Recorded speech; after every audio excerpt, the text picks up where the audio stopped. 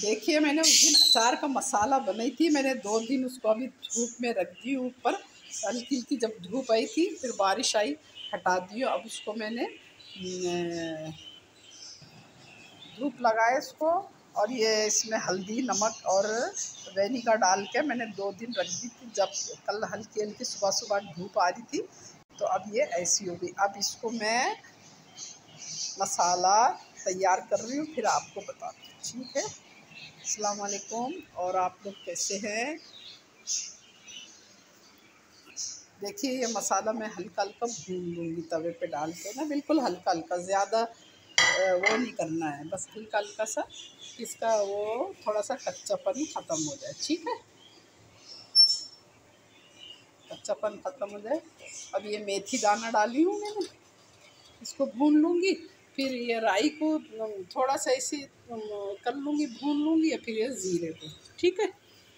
ये कि इसमें की नमी ख़त्म हो जाए। ठीक है? नहीं तो नमी रहेगी ना, फिर आपका अचार खत्ता, ख़राब हो जाएगा। ठीक है?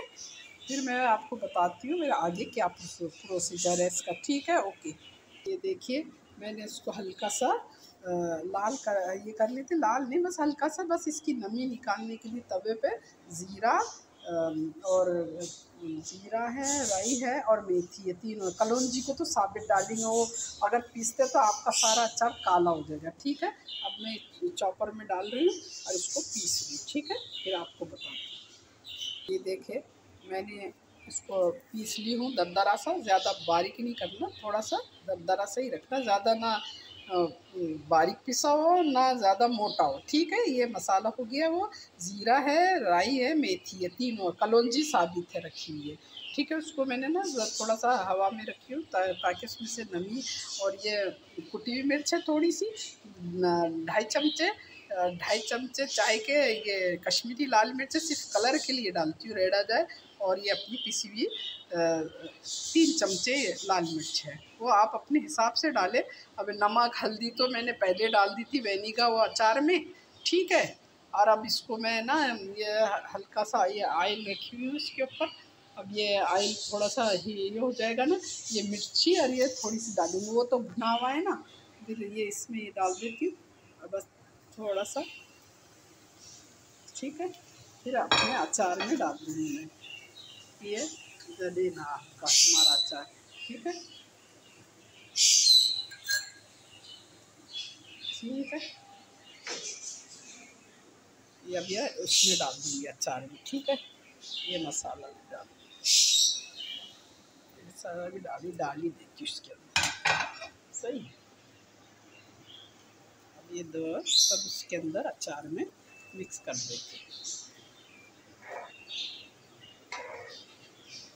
थोड़ा ठंडा हो जाए, फिर ना इसको, फिर मैं अचार में मिक्स कर दूँ फिर अचार में डाल दूँगी फिर आपको दिखाती ठीक है? ज़रा ठंडा हो जाए आई फिर डाल देती ठीक है, इतना हीट तो नहीं है वो, बस हल्का सा है। मसाला डाल के तेल में कर दी अब इसको अचार में डालूँगी, ठीक है? ज़रा सा गर्म है अभी ये, फिर ठंडा हो गया तो फिर मैं उसमें डालती हूँ अचार में, ठीक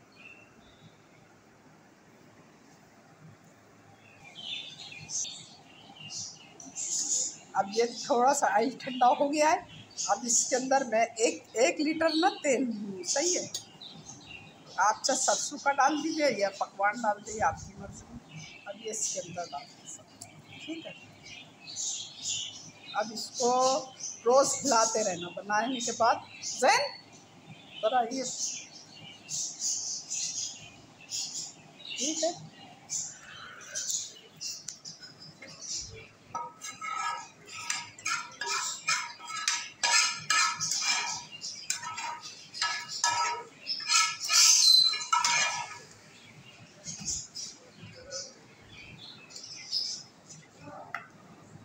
आयल इतना डालें कि इसके ऊपर तक आयल रहे ठीक है? आयल कम नहीं होना चाहिए। आयल में डूबा होना चाहिए। ठीक है? मैंने थोड़ी सी एक गाजर भी डाल दी काट और एक लीटर तेल। ठीक है? और हमारा दौर चार तैयार है। और अब ये रोज़ इसको हम ऊपर नीचे कर देंगे ताकि हमारा अचार खराब हो है